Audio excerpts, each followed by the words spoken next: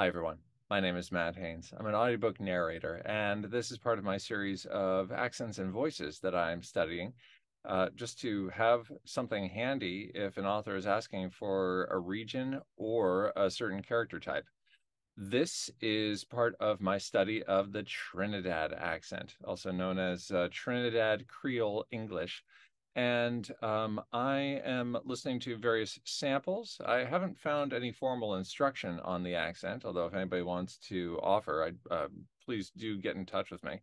Um, I am on social media, Facebook, audiobook narrator Matt Haynes. Just uh, shoot me a message. But uh, what I'm going to outline right now are some of the beginning principles that I'm hearing from the accent if you have specific insight on the accent, please put in the comments uh, where I seem to be accurate, where I seem to be going wrong, and any other things to keep in mind. So, uh, principles. Uh, first of all, just generally, I'm finding that the accent has a very, very nice, puffy, wide space in the mouth. Uh, and um, I, I, just find that very, very refreshing, very, very relaxing. And where it comes from, uh, the thing that I constantly am thinking about when I'm thinking about that is the switch of the ass sound to the aw sound.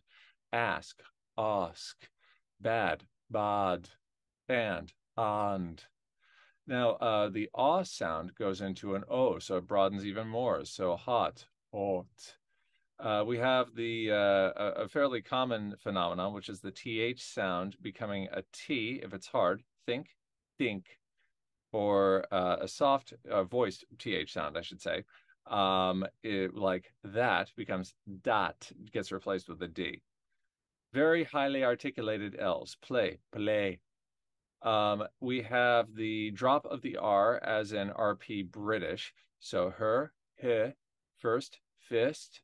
However, if a word uh, starts with an R or has an R early on, like uh, reach, becomes reach. I'm finding that there tends to be a little sort of a lean into that R, reach, um, from, from. Uh, we have also the u as in foot or good becoming an e, foot, good. We have an er sound going into simply an a sound or an is sound. So uh, her, he, work, wick, we have the abbreviation of the ng to the n. So thinking, thinking, uh, going, going.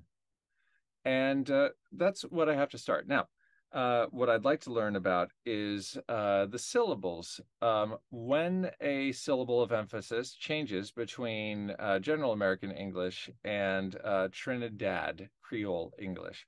So, for example, uh, well, we take the word example um, I put the emphasis in the middle. Example. Now, uh, is there a, general rule of when it will be pronounced example or example or example?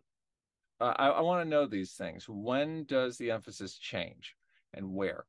Also, uh, the music of the accent. I don't quite have a handle on that yet. And I want to learn also what makes it particularly distinct from Jamaican. So, because I can imagine confusing the two. Finally, do you think there is a good song that would uh, be good lyrics to uh, play with to this accent? I like to usually buck convention for both the accent and the lyrics, uh, putting two together that create a surprising new result, or do something that's a little cheeky or ironic with the lyrics of a song, putting them with the accent. So, whether it's being cheeky or whether it's being revealing and unexpectedly moving, that's what I'm interested to know.